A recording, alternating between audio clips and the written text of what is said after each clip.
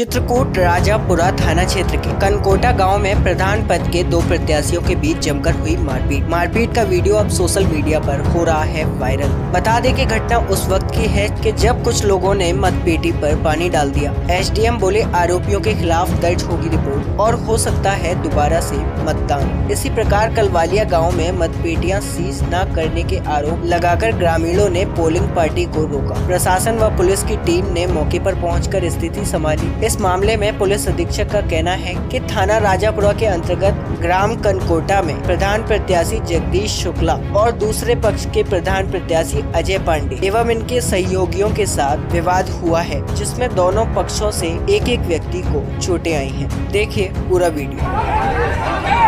बंद करा हुआ। है?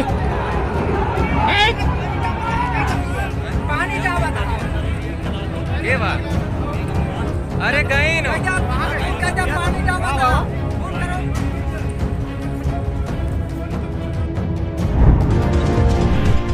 UP city news. जुड़िए उत्तर प्रदेश से।